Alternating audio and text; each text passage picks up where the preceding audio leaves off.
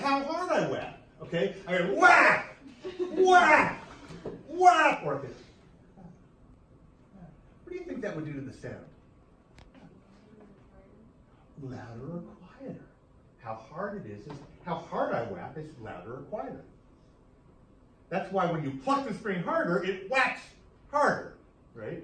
When you pluck the string softer, it whacks less, less hard and it's less loud. So then what do you think the speed with which I whack will change? What do you think will happen if I whack really quickly? versus whapping less frequently, right?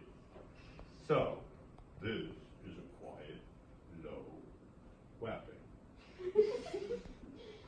this is a loud and low whapping. What have I changed? How, how hard, the volume, right?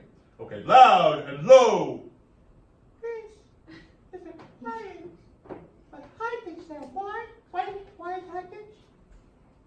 It's going fast, very frequent whapping, but not very hard. This is a scream! Right? High pitch and loud! Fast and loud, okay? So I'm not going to do that with you all because it'll hurt you, but, but I, I want you to uh, picture that anytime I'm making those sounds, that's actually what's happening. It's not a sound wave that does this. It's actually not how sound moves.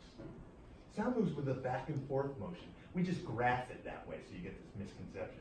So this is the key idea, right, to have in your mind. Now, I just did this, that work. That is not, we're not, I don't, wouldn't assume that you have.